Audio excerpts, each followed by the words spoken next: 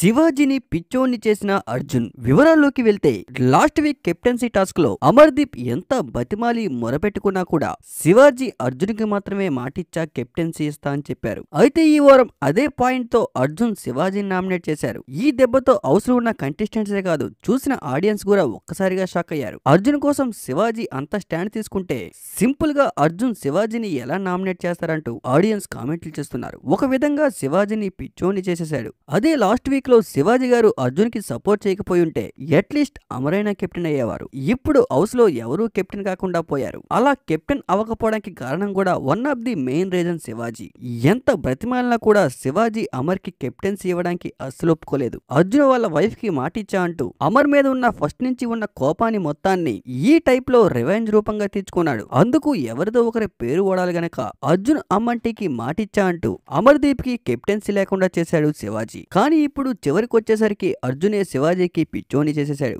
ఏ point మీద అయితే Shivaji అమర్కి captain ఇవ్వకుండా శోభాశెట్టి ఎంత బ్రతిమాలినా కూడా అస్సలు కనికరించకుండా అర్జున్ని కెప్టెన్ చేస్తానంటూ పట్టుపట్టి కూర్చున్నాడు. ఈ రోజు అదే అదే పాయింట్ పై అర్జున్ శివాజీని నామినేట్ చేశారు. దీంతో ఒక్కసారిగా హౌస్లో ఉన్న కంటెస్టెంట్స్ అందరికీ ఫీజులు ఎగిరిపోయాయి. చూసే ఆడియన్స్ కూడా ఒక్కసారిగా షాక్ అయ్యారు.